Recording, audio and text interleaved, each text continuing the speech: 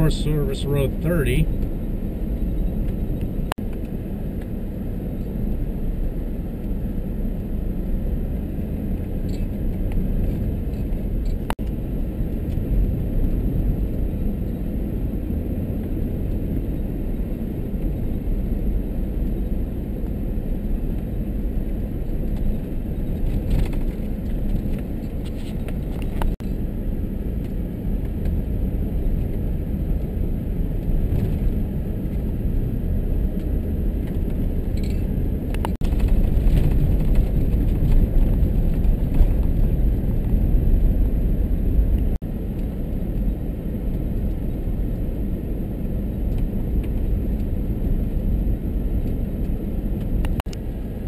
Okay, we're at the end of Road 30. There used to be a bridge you could walk across.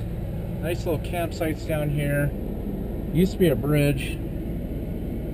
There's another road that goes up in, says don't block the gate. And way up on the top of the mountain is Buckball. They call it Buckball Mountain. And that's where Otter Creek, which is also right there, part of Long Branch Brook, starts off the top of the mountain and comes down and turns into Otter Creek, which flows north up to Lake Champlain.